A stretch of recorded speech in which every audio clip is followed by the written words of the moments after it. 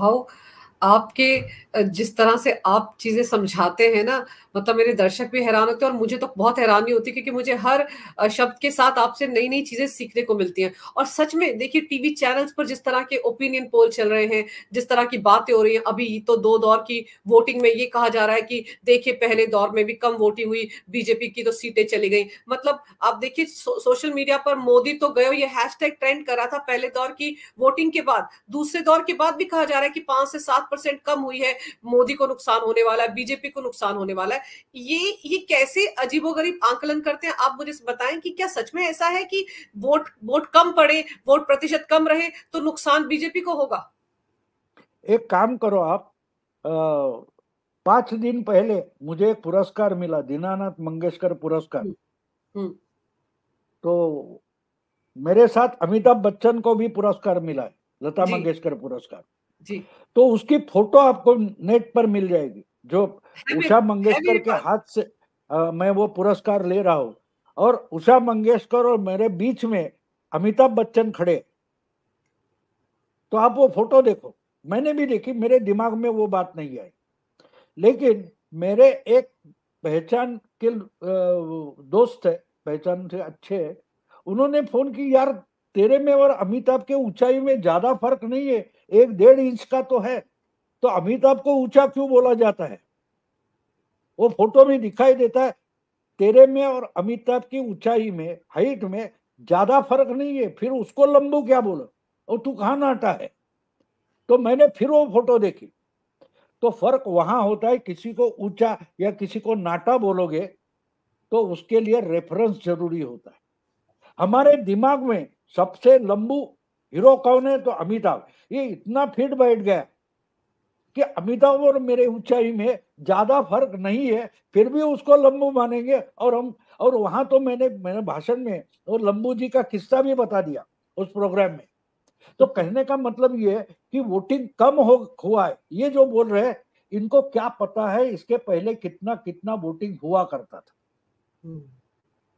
2009 हम्म। में कितना वोटिंग हुआ था? कि, कितने लोगों को पता है? ये जो ट्रोलिंग वगैरह हैशटैग वगैरह चलाते 2009 में सत्तावन percent fifty seven percent voting हुआ था। तो उस रेफरेंस से देखो तो आज अगर तिरसठ चौसठ परसेंट हो रहा है तो सात छह परसेंट ज़्यादा है। हम्म। उन्नीस में इंदिरा हत्या के बाद जो सिंपति की लहर पैदा हो गई उस वक्त जो वोटिंग हुआ वो 64 परसेंट के आसपास था 63 64 तो अगर वो रिकॉर्ड देखे तो आज का वोटिंग कम हुआ है, नहीं हुआ है। हाँ अब देखो 2014 में 84 का रिकॉर्ड तोड़ा गया 66 परसेंट के आसपास वोटिंग हुआ, डेढ़ पौने दो परसेंट ज़्यादा हो गया। 2019 में 14 का रिकॉर्ड तोड़ा गया, आसपास 67 परसेंट ज़्यादा परसेंट वोटिंग हुआ। लेकिन ये ऐसी सोच कहाँ से आती है? कहाँ से आती है? वोटिंग कम हो गया। यानी मोदी है तो हर हर चुनाव में डेढ़ दो परसेंट वोटिंग बढ़ना चाहिए। अगर नहीं बढ़ता है तो मोदी धोखा में है। अब इसकी एनोलॉजी भी समझ लो। हम्म। कि हमको मालूम है सचिन तेंदुलकर अच्छा बल्लेबाज है विराट कोहली है गावस्कर है। हर हर खेल में हर मैच में उन्होंने सेंचुरी नहीं लगाई है। तो सेंचुरी नहीं लगाई गावस्कर ने सिटीन ने विराट ने बस खत्म हो गए। ऐसा बोल सकते हो आप? नहीं बोल सकते। नहीं। हर हर मैच में सेंचुरी नहीं लगती। लेकिन अच्छे रन तो होते अस्सी हो गए नब्बे हो गए सत्तर हो गए तो भी बहुत हो गए। सौ का आंकड़ा पार नहीं किया इसलिए कम हो गया ये बोलना गलत है। अब भी देखो एवरेज जो है, वो 63 62 के आसपास है, ये कम नहीं है। रिकॉर्ड जो है सिंपथी वेव का इंदिरा हत्या के बाद, उससे भी ये ज़्यादा है। और पाँच चरण का वोटिंग बाकी है। और दूसरी बात, जो 190 सीटों पर वोटिंग हो चुका है, उसमें केरला के 20 तमिलनाडु के 40 तो 60 निकालो। कुछ और होगा। तो बात ये है कि अभी तमिलनाडु की भी मोदी को गढ़ जो उसको माना जाता है। उसका तो वोटिंग बहुत बाकी है।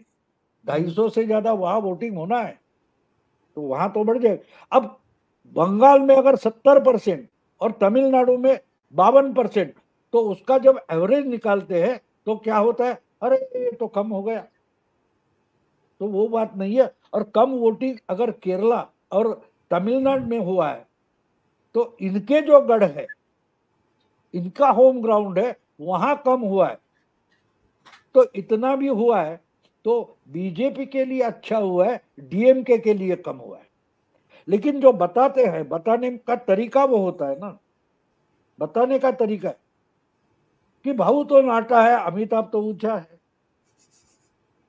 तो ये जो ये जो फ़र्क होता है वो आँखों की भूल भलैया होता है। तो बीजेपी वालों को लिथार्जिक या डराने के लिए सब चल रहा है चलने दो। लेकिन ये भूल जाते हैं कि इनसे भी ज़्यादा जो वोटर है आम हम्म। जनता है वो ज़्यादा मैच्योर बनती गई है।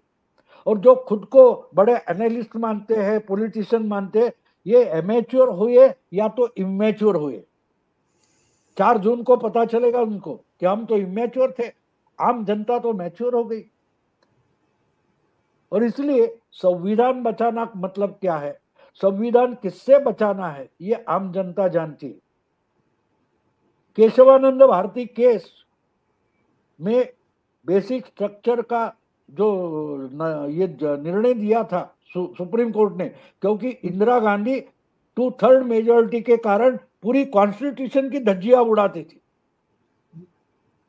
तो इसलिए सुप्रीम कोर्ट ने जो रोक लगा रखी है, कोई भी उसके बाद टू थर्ड मेजोरिटी में आता है, फिर भी कॉन्स्टिट्यूशन को धक्का नहीं लगा सकता, संविधान को धक्का नहीं लगा सकता। तो इनके दिमाग में जो है, वो होते हुए देख रहे क्योंकि इनकी ही उनका इतिहास देखो तो आपको पता चलता है कि इन्होंने ही संविधान की धज्जियाँ उड़ाई है। इन्होंने तो कुत्ता डरा हुआ होता है, इसीलिए भोगता है। आप आगे चले जाओ, कुत्ता पीछे चला जाता है। तो ये चलेगा। ये भी कैंपेन का एक तरीका होता है। हाउ अभी जब दूसरे पहले चरण के बाद कांग्रेस के मैनिफेस्टो को लेकर पीएम मोदी ने कहा कि जिस जिस तरह से वो अल्पसंख्यकों के लिए ये सब बातें कह रहे हैं कि हम एक्सरे करवाएँगे, आपकी संपत्ति का मंगलसूत्र का मुद्दा आया, सोना घर का उसका एक्सरे होगा, वगैरह वगैरह। तो ये नेरेटिव सेट किया गया कि देखिए, पहले दौर से पीएम मोदी डर गए हैं, इसलिए अब वो मुस्लिम तुष्टिकरण या ध्रुवीकरण की बात कर रहे हैं। ये नेरेटिव भी डाला गया। लेकिन ये मुद्दे तो कांग्रेस के घोषणा पत्र में है। हिडन एजेंडे की तरह उन्हीं को तो सामने रखा उन्होंने। नहीं मोदी कितने डरे हुए मोदी 2002 से डरे हुए और डरकर ही जीतते वो डरे हुए, मोदी डरे हुए, और उनके जो अपोजिट लोग हैं, वो हारे हुए। ये फ़र्क है। अरे 20 साल नहीं 22 साल हो गए। आप वो डरा हुआ है, डरा हुआ है बोल रहे हैं, वो जीतते जा रहे हैं। तो ये आम जनता समझ रही है। इसलिए ये चर्चा के लिए मुद्दे अच्छे हैं और वो जो गलती करते हैं, वो मोदी जी उठाते हैं। तो आपकी खामियाँ तो मोदी जी निकालेंगे ना तो इसका मतलब डर गए। इसका मतलब मोदी डरे हुए, ऐसा नहीं लगता। आपने जो देखो, सैम पिट्रोडा जो बोल गया, जयराम रमेश को बोलना पड़ा कि वो पार्टी का एजेंडा नहीं है तो डरा कौन है? आप मोदी की बात छोड़ो आप सैम पिट्रोडा से डरे हो। आप सैम पिट्रोडा से डरे हो। आज ही मैं अभी हम बोल रहे उस वक्त दिल्ली की कांग्रेस बिखर गई है। हाँ, बिल्कुल। वो अरविंदर लवली वगैरह इन्होंने इस्तीफे दे दिए पूरे कमेटी बर्खास्त कर दी गई है। तो हम्म। कौन डरा है? वोटिंग होने से पहले कौन डरा है? कैंपेन के पहले कौन डरा हुआ है? बीजेपी तो नहीं डरी हुई है। हाँ आपको लगता है डरी हुई है, लगता है ठीक ठीक है, क्योंकि आप डरे हैं। जो दिमाग में है, वो आप देख रहे हो। कि मैं डरा हूँ मतलब सामने वाला डरा हुआ आप अपना ही चेहरा आईने में देख रहे हो। तो आप खुद को डरे हुए महसूस करते हो और सामने देखते हो तो आपका चेहरा नहीं, मोदी का चेहरा देखना चाहते। तो मोदी डरा हुआ नहीं। अगर डरे होते तो चुनाव के टाइम में सीएए का इंप्लीमेंटेशन शुरू नहीं करते। और इसलिए मोदी डरे हुए बोलना ठीक है इनके पास कोई एजेंडा है ही नहीं ना। आप बताओ आप क्या करोगे? आप कुछ बता रहे हो नहीं बता रहे हो? बस मोदी डरे है मोदी डरे है। वो जैसे भजन चलता है वो चल रहा है। और इसके बाद चार जून हो जाएगा तो बोलेंगे ईवीएम में गड़बड़ है। हम्म। तो रोना तो चलेगा। वो फ़िल्म का गाना था ना पीने वालों को पीने का बहाना चाहिए। वैसे रोने वाले को रोनो का बहाना रोने का बहाना चाहिए। तो अभी मोदी डरे ऐसा रोना चालू है फिर ईवीएम गड़बड़े ये रोना शुरू हो जाएगा रोते ही रहेंगे। रोते रहेंगे और कुछ नहीं। तो चलने दो इत, इतना भी मुझे आ, याद है मोदी की एक कहीं उनका भाषण था या कहीं बोले थे कि आपको किसी इंटरव्यू में पूछा था उनको एंकर ने कि आपको इतनी गालियाँ देते हैं। तो बोले, कम से कम गाली देने का स्वातंत्र उनको होना चाहिए ना। लड़ तो नहीं सकते, लड़ा नहीं सकते, हारते रहते तो उनकी खुशी के लिए कम से कम गाली तो देने का उनका स्वातंत्र होना चाहिए, आज़ादी होनी चाहिए। तो गाली दे दे। उनकी गाली की सीढ़ियाँ बनाकर तो यहाँ तक पहुंचाऊ, ये मोदी जी बोले। तो मोदी मोदी जी को इसका दुखड़ा भी नहीं है कि गाली क्यों देते। क्योंकि गाली भी जो है, वो मानने पर होती है, वरना गाली नहीं होती। गाली नहीं होती।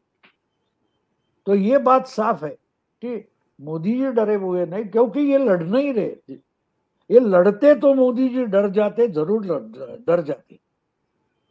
लेकिन ये पिकनिक में बैठे पिकनिक में बैठे ना, चुनाव ज़ोर शोर से चल रहा है और ये निकल गए मणिपुर से मुंबई आने के लिए। पिकनिक पर चले गए। तो कैसे होगा मोदी कैसे इसलिए मोदी। को डरने की ज़रूरत नहीं है। मोदी इनको जवाब भी नहीं देते क्योंकि वो ज़रूरत समझ हाँ तो वो आपके हिंदी में ये ना हाथी चले बाज़ार कुत्ते भौके हज़ार। बिल्कुल। तो मोदी वैसा कर रहे हाँ। ज़रूरी इनकी खामी मिल गई खामियाँ मिलती है। तो उस पर हमला कर देते। और हमला करने के मौके भी भाव ये खुद ही देते हैं। राहुल गांधी ने आज फिर राजा महाराजाओं को लेकर कह दिया कि उन्होंने गरीबों का बड़ा शोषण किया। मोदी ने फिर कहना शुरू कर दिया कि इनको मुगल याद नहीं आते औरंगज़ेब याद नहीं आते इनको हिंदू ही याद आते हैं महाराजा महाराजा ही याद आते। हैं बिल्कुल। नहीं वो तो होगा। देखो राहुल गांधी ये बीजेपी के लिए बड़ा एसेट विदाउट लाइबिलिटी क्योंकि लाइबिलिटी कांग्रेस के लिए और बीजेपी के लिए एसेट है। ये अजीब बात है। इसीलिए राहुल गांधी फोर फ्रंट पर रहे, यही कोशिश बीजेपी भी करती। देखो, बीजेपी राहुल गांधी को क्यों टारगेट करती? क्योंकि अपोजिशन का चेहरा राहुल बना रहे तो ही बीजेपी के लिए चुनाव आसान बन जाता है। अगर ममता हो, या उद्धव ठाकरे, या और कोई भी हो, नीतीश कुमार होते या तेजस्वी यादव होते तो इतना फ़ायदा मोदी को बीजेपी को नहीं मिलता। इतना फ़ायदा नहीं मिलता। जिस जितना गाढ़ा काला कलर होता है उतना सफ़ेद कलर उजला दिखाई देता है। अगर काले के जगह ग्रे कर दो तो सफ़ेद उतना सफ़ेद नहीं दिखता। तो राहुल गांधी जो है वो बीजेपी के लिए असेट है कांग्रेस के लिए लाइबिलिटी है। तो इसलिए बड़ा चढ़ा पर उस पर अटैक बीजेपी बीजेपी करती है क्योंकि उसके रिटर्न ज़्यादा होते भाव चार जून के बाद आपको क्या लग रहा है? उस दिन जो नतीजे आएँगे कांग्रेस कितनी सीटों पर आपको दिखती है? मैं मानता हूँ पचास क्रॉस नहीं करेंगे। और जितने सीटें कांग्रेस की आ जाएगी उससे नुकसान उनके ही साथी इंडिया अलायंस के उनको होगा। क्योंकि ये सारी पार्टियाँ जब मरेगी उसका फ़ायदा कांग्रेस को मिलेगा। जितना कांग्रेस बची है तो ये तो सब कांग्रेस से निकली हुई पार्टियाँ। बिल्कुल। इनका वोट बेस कांग्रेस के खिलाफ था। तो वो कांग्रेस को वोट वापस कर रहे। अखिलेश की पार्टी बीएसपी कहाँ से पैदा हुई थी? कांग्रेस को ही वोट देते थे। वो समाजवादी के बीएसपी के पास चले गए। टीएमसी इसलिए तो ममता इनके साथ बंटवारा नहीं कर रही है, क्योंकि उसको मालूम है, जो जाएँगे वो वापस नहीं आएँगे। इसलिए आम आदमी पार्टी कांग्रेस के साथ सीट का बंटवारा करना नहीं चाहती थी। अब कांग्रेस ने किया है तो आम आदमी पार्टी की कुछ वोट इधर आ जाएँगे, इनके कुछ उधर हो जाएँगे। बीजेपी को उससे मतलब है ही नहीं। तो इसलिए एक बड़ा इतिहास बनने जा रहा है। बहुत सारी पार्टियाँ इस चुनाव के बाद अस्तंगत हो जाएगी, लुप्त तो हो जाएगी। बहुत सारी पार्टियाँ हम देख रहे तो इसलिए ये चुनाव के बाद बीजेपी तो बीजेपी आज की कांग्रेस है, ये आप समझ लो। और जो कोई बोल रहे कि नेहरू के बाद तीसरी बार, बात ये नहीं, नेहरू बावन, सत्तावन, बासठ में उनका ग्राफ नीचे गिर रहा था। उनकी पॉपुलैरिटी कम होते गई थी। और मोदी की पॉपुलैरिटी बढ़ते जा रही है। Thirty one percent thirty eight percent अब जो ओपिनियन पोल है वो कुछ इकतालीस बयालीस परसेंट बोल रहे मतलब क्या है कि तीन बार जीतने से तुलना नहीं होती। हम्म। फ़र्क ये है कि मोदी का चढ़ता ग्राफ है नेहरू जी का उतरता ग्राफ था। ये भी समझना ज़रूरी है। भाव एक चीज़ और समझा दीजिए चलते चलते कि दक्षिण भारत में आपको लगता है तमिलनाडु में कुछ कमाल होगा? केरल में, आंध्र में इस बार? बीजेपी के लिए दरवाजे खुलेंगे वहाँ? आंध्र में तो मुझे इतना पता नहीं है। शायद वो तेलुगु देशम के साथ हाथ मिलाया उसका फ़ायदा होगा। ओरिजिनल बीजेपी, लेकिन तमिलनाडु और केरल में चमत्कार, पंजाब में चमत्कार होने जा रहा है, ऐसे मैं मानता हूँ। और तमिलनाडु में जो एक्साइटमेंट थी वो सीटें दो या तीन मिलेगी लेकिन परसेंटेज जब बढ़ता है तो परसेंटेज बढ़ता है तो अगले चुनाव के लिए वो बेस बन जाता है आप एक दो मंजिल पर निकल जाओ हम्म। तो थोड़ा सांस ठहर जाती है बाद में आप तीसरी मंजिल चढ़ जाते हो तो परसेंटेज जिस ढंग से बढ़ता है उसका फ़ायदा अगले अगले चुनाव में मिलता है और बीजेपी पंद्रह बीस बीस साल आगे की राजनीति सोचकर आज चुनाव लड़ती तो उसका फ़ायदा हो जाएगा। तो चमत्कार वो भी है, इस बार अगर बीजेपी तमिलनाडु में एक दो सीट भी जीत, जीतेगी तो वो अपने दम पर जीतेगी। और उसका एक नुकसान जो है, वो अन्ना डीएमके को हो जाएगा, डीएमके को भी हो जाएगा। और मानो पचास साल के बाद पहली बार कोई नेशनल पार्टी तमिलनाडु में अपने पैरों पर खड़ी होती दिखाई देगी। और भाव अश्वमेध 2024 आप बीजेपी के लिए क्या प्रिडिक्ट कर रहे हैं? 400 पार? एनडीए और बीजेपी बीजेपी के लिए साढ़े तीन सौ से आगे जाएगा ये मेरा प्रिडिक्शन अगस्त महीने का है आज भी वो कायम है आज भी कायम है। और मैंने आपको बता दिया कि 370 का लॉजिक जो है 303 प्लस 72 तो मतलब seven three seventy five BJP पिछले चुनाव में भी लड़ने की पोजीशन में 375 सीटों पर थी। जब एक या दो नंबर होता है, इसका मतलब वो चुनाव क्षेत्र आप लड़कर जीत सकते हो, ऐसा होता है। तो ये 375 सीटों में अगर पिछले पाँच साल पहले बीजेपी तगड़ा पार्टी थी, तगड़ी पार्टी थी तो आज वो 400 के आगे तगड़ी पार्टी है। तो इसमें से 370 पहुँच जा सकती है, मैं ना नहीं बोलूँगा। और दोस्त पार्टियाँ जो है छोटी मोटी मिलकर अगर 30-40 सीटें लाती है तो 400 पार होगा लेकिन 350 के नीचे नहीं होगी ऐसा मेरा ख्याल है 350 ये सब लॉजिक मेरा मैंने आपको किताब दी है आपको उसके डिस्क्रिप्शन जिनको हाँ। चाहिए हाँ। वो नीचे अगर इंफॉर्मेशन दे दे तो उनको किताब खरीद सकते हैं इंफॉर्मेशन से। बिल्कुल मैं अपने दर्शकों को बता दूँ कि इस किताब को कैसे खरीदा जा सकता है इसका डिस्क्रिप्शन में मैं आपको लिंक दे रही हूँ। आप इसको ज़रूर पढ़ें और आपको भारतीय राजनीति में जिस तरह से गुजरात से पीएम मोदी राष्ट्रीय राजनीति में आए हैं कैसे कैसे इम्पैक्ट रहा है उसका पूरा विस्तार से जानकारी मिलेगा और भाव का नज़रिया पढ़कर आपको पता चलेगा कि कितना डिफरेंट है और इसीलिए भाव के जो प्रोडिक्शंस होते हैं उसके आगे सेफोलॉजिस्ट सारे धराशायी हो जाते हैं और चार जून को भी ऐसा ही होने वाला है। भाव आपने बात करने के लिए समय निकाला मेरे लिए इतना लंबा पौना घंटा हो गया हमें बात करते हुए। इसके लिए आपका बहुत बहुत धन्यवाद। मेरा मैं अलग अलग जगह भाषण भी दे रहा हूँ। जो इन्फ्लुएंसर्स के ग्रुप होते हैं वहाँ मुझे बुलाया जाता है तो बड़े हॉल में बहुत सारे भाषण हो रहे हैं तो उसको भी टाइम निकालना पड़ता है। जाने आने में भी टाइम जाता है तो इसलिए टाइम की थोड़ी किल्लत है इतना ही है लेकिन आपने मेरे लिए निकाला भाव उसके लिए आपका बहुत बहुत धन्यवाद। नमस्कार।